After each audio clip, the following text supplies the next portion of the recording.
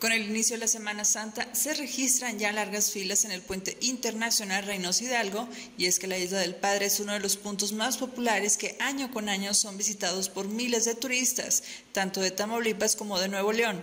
Las filas vehiculares son kilométricas, lo que registran tiempos de más de dos horas de espera.